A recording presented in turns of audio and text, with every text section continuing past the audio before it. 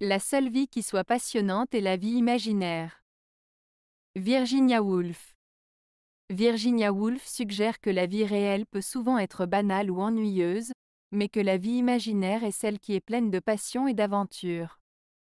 Elle souligne ainsi l'importance de l'imagination pour apporter une dimension plus riche et excitante à la vie quotidienne.